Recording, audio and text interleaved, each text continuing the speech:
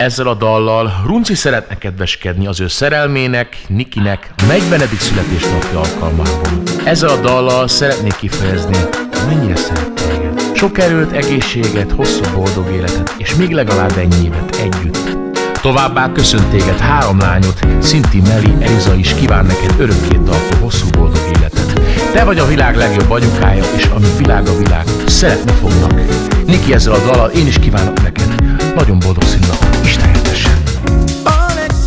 azon vagy kedvesem